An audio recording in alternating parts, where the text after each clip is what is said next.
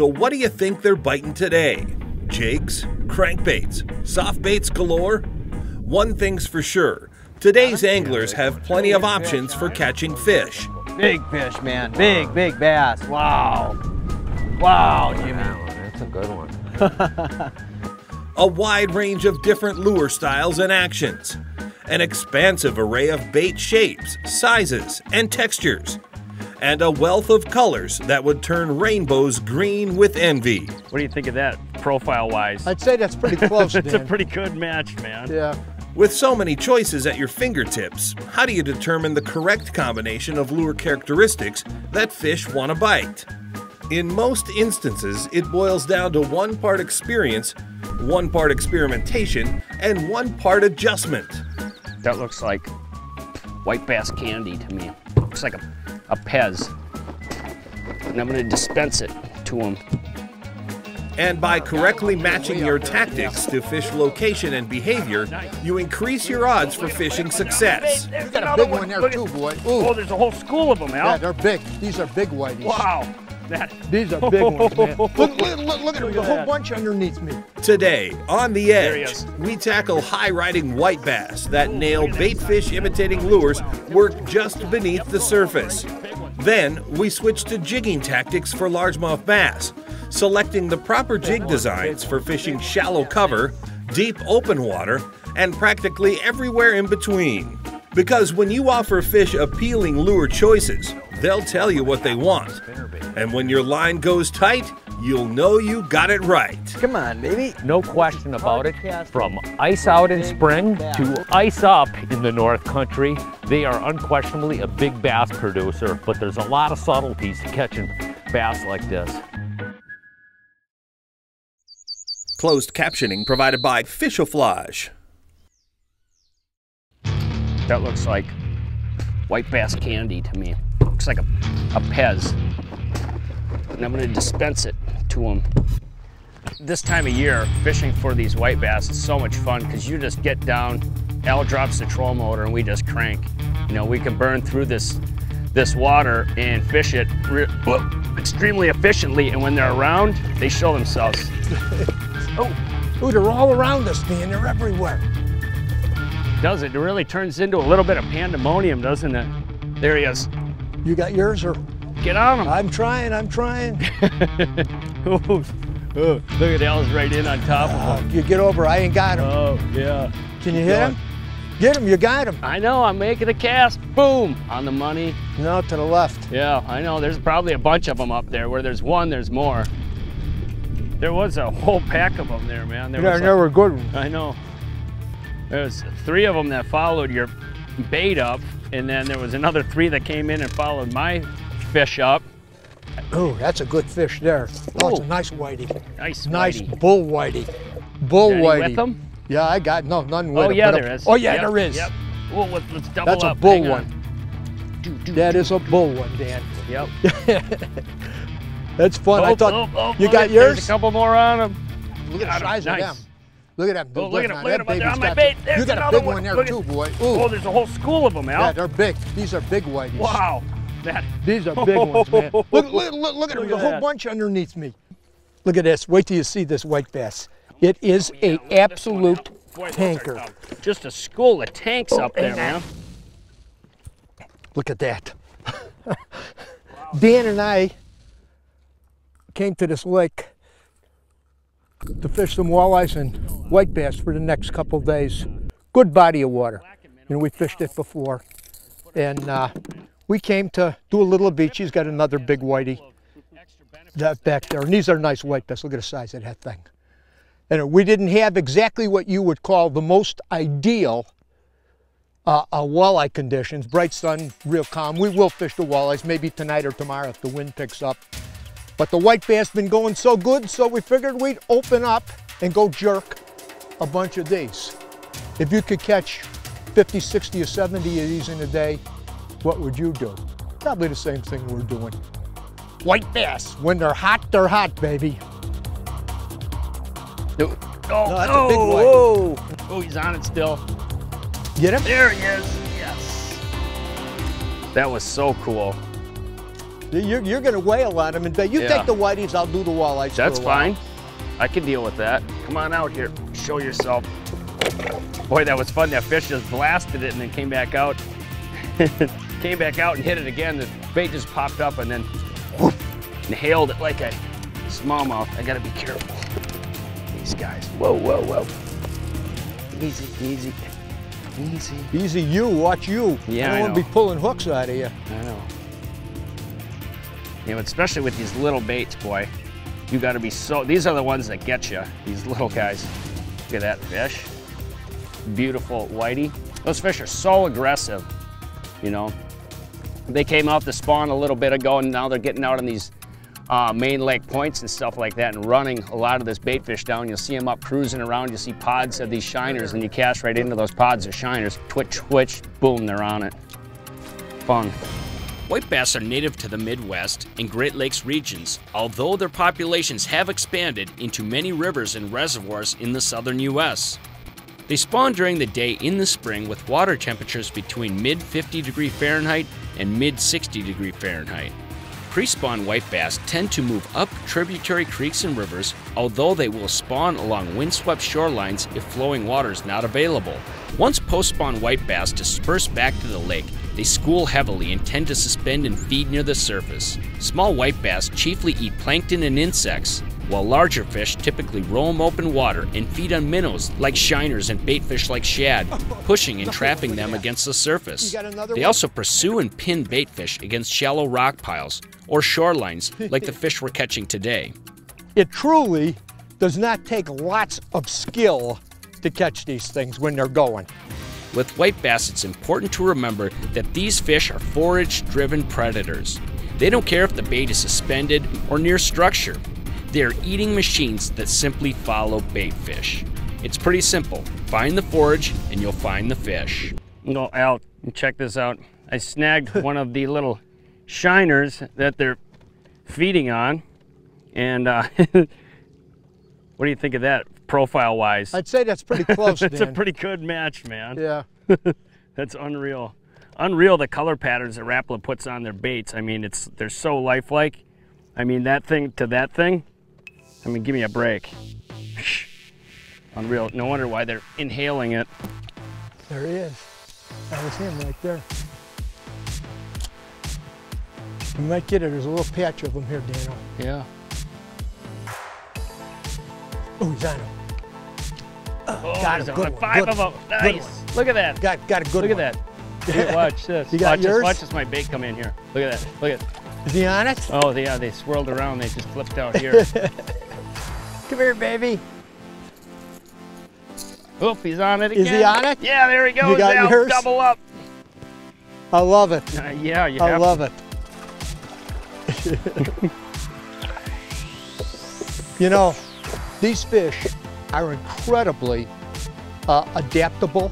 You find them all over the country. They're in lakes, they're in rivers, there's in, they're in reservoirs, they're in clear water, uh, they're in dirty water. They adapt really, really well. In fact, the best and biggest white bass fishing I've ever experienced myself was in Canada. I know a lot of you are saying in Canada, if you don't live up there, you think, white bass in Canada off of Lake Winnipeg. I mean, three and four pounders. I mean, just giants, absolute giants. And in North Dakota, Devils Lake has got them. You, you know, it's a really big fish. Got that guy on a number seven Clackin minnow. Small little bait. Let's take a look at some of the premier baits for catching whiteys like that. Many lures work for white bass, with most sharing a few key attributes. Whiteys suspend near the surface, so stick with lures that either run shallow or can be fished barely subsurface by holding your rod tip high during the retrieve. Small jigs tipped with soft baits, inline spinners, and shallow running crankbaits are obvious choices. All Yeah. imitate modest sized minnows or baitfish forage and can be retrieved horizontally near the surface. White bass often reveal their location by rising to and breaking the surface when feeding on baitfish. Cast directly into their mitts and begin swimming the bait back to the boat. Today we're primarily using two lure choices. There he is. There, there. Good one. Okay. The first is a number 7 Clackin minnow, a slow sinking minnow imitator with a single steel ball that clacks back and forth in an internal metal chamber, alerting nearby fish to its presence. Big whitey. Oh, here, uh, I, I will Oh, there's a him. couple of them in there. Yeah, I Look got at him. They're I trying got to him. rip the bait out of his mouth. I got Look him. at oh, like two for one. The second is a Rippin' Rap, which is filled with small BBs that loudly whack against the internal walls of the lure as it vibrates during the retrieve. Although fairly small in size, it's a heavy lure that you can cast a mile to reach schools of aggressive white bass breaking the surface. Oh, there they are, Al. Where? Look, there he is. Oh, there's another one right there. Ooh, he was there. Whitey? I'm not sure. Ew. Oh, there's a couple of them in there. Get him. There he goes. Nice. Boy, that was fun, huh? Look at it. See those fish following him around? Look like there was almost like a walleye following it.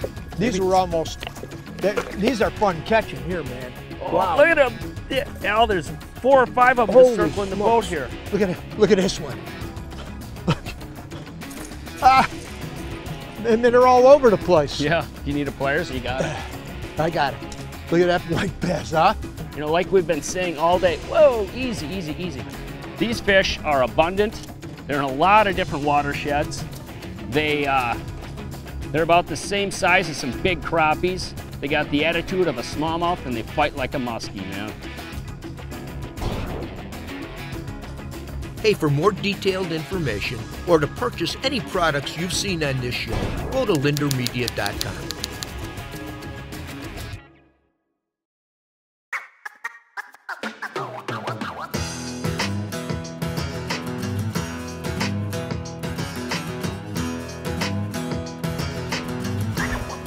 Big him? one, big one. Big one. Yeah, nice. Look at that. Oh, Ooh, woo, woo. come here, buddy. Nice. Come here, look at that guy there. There, Jeremy. That's Wow, a tank. Oh, that is Boy, a look at the tank, size of that Jim. one. Come here, buddy. Big, Whoa. big, big Now fish. that is what I call a giant bass. Look at that thing. No question about it. Right now, Jeremy and Smith and I are going to look at strategies for catching bass on probably one of the best bass baits ever designed, and it's known as the skirted jig. No question about it, from ice out in spring to ice up in the North Country, they are unquestionably a big bass producer. Look at that thing, that's a big northern bass. They don't come that that big in this region too much. It's about, I will probably only catch, you know, three or four of these throughout the course of a year. That's a big one.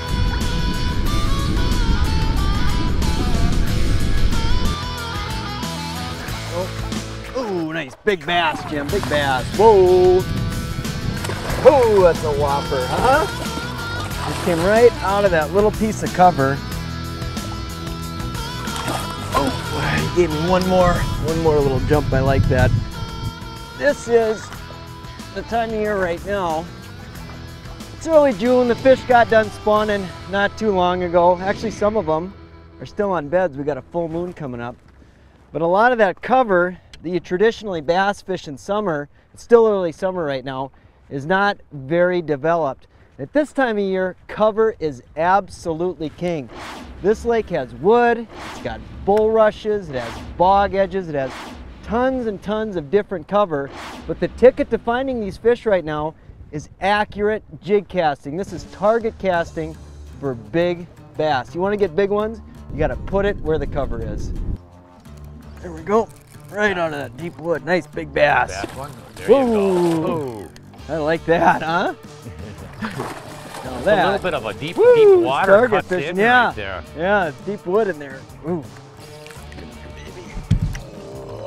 Yeah, that's a nice one. The average fish we're catching today is unbelievable. This is pretty awesome. And the areas that we're looking for right now are those areas that you find just outside what you consider to be spawning bays. This particular zone right now is a big, this, this whole shoreline is covered with trees and bulrushes and all kinds of stuff. But you go around the corner and it's one of those shallow, dark water bays. It's got some sand and gravel along cut bank. That's where the bass were spawning, or a lot of fish were. And now they're done, starting to pork up. Some of them are, and they're out here in this stuff. That's where you look for them. Look for them just outside of those bays this time of year. Bruisers, man, and they love the cover. You got to throw a jig to the cover. We've been fishing relatively shallow water cover. The fish are anywhere between probably about three and six foot of water. We've been using 3 eighths to half ounce jigs. Uh, one thing that's really critical is, is figuring out drop speed because the drop speed a lot of times can ultimately determine how many fish you catch. If the fish are inactive, no question about it, slower drop speed, or in other words, lightening up the jig can trigger more strikes. On the other hand, if you can get away with it and the fish are relatively active, you want to be able to fish a heavier head. And the reason for using the heavier head is very simple. Casting accuracy and your ability to cover more water. As you can see in back of us, we have miles of this and miles of different spots to target. With a heavier bait, I can actually just move through here, put the trolling motor on about 20% and quickly just dab along, drop the bait into a specific spot, pick it up, flip it to the next spot. It enables you to cover a lot more water really quickly and hence catch more fish if the fish are willing to bite it. We literally carry pounds of different bass jigs in the boat.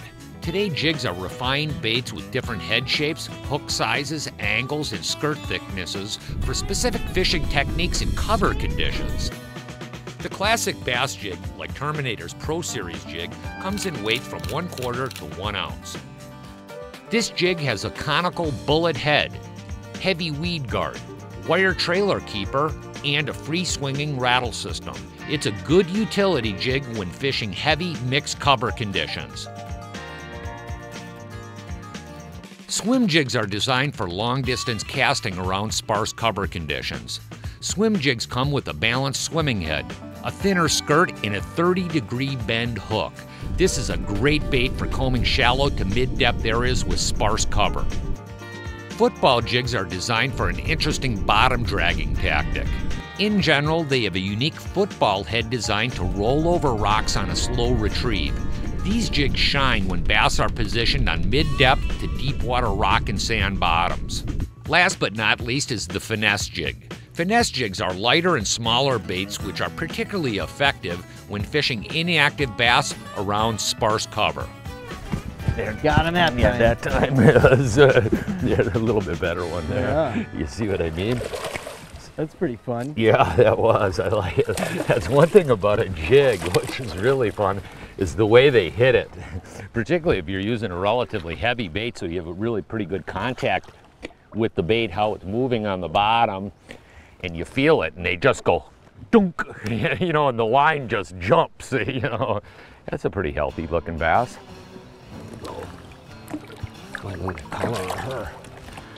Soft baits are a big part of all jig fishing strategies. The correct profile depends on the individual jig technique.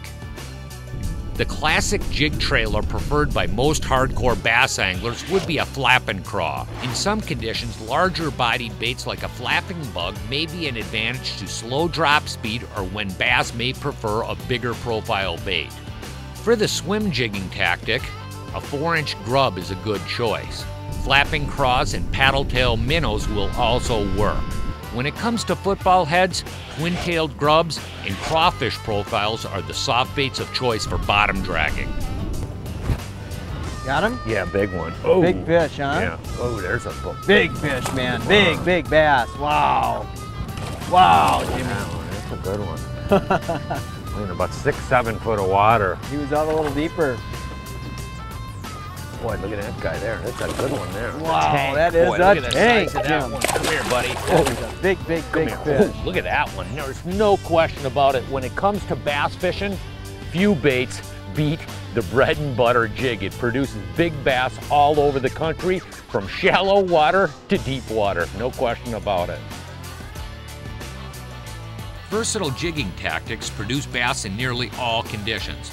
Learn how to match jig style, tackle, and retrieve to bass behavior in precision bass jigging. Part of our Angling Edge instructional DVD collection available at anglingedge.com. Hey, no matter what Bible you choose to read, and there's a bunch of them, there's more than what you see here, the words might change a little bit, but the meaning never changes. Personally, my favorite Bible to read is the New King James Version. I like the way it's written. Uh, you know, over the years, a number of times that I've been through God's Word, a few of my favorite books of the Bible are Psalms and Proverbs. And uh, it's brought me so much inspiration and direction. Those are the two words that I really want to share with you. God's Word is filled with inspiration and direction. Uh, any challenges that I've ever had to face, I found answers in God's Word. Whether it was health issues, financial issues, relationship issues, there was inspiration and direction. It's all there. Just something to think about this week. Hey, from all of us here at The Edge, you have a good, safe fishing season. We'll see you on the water.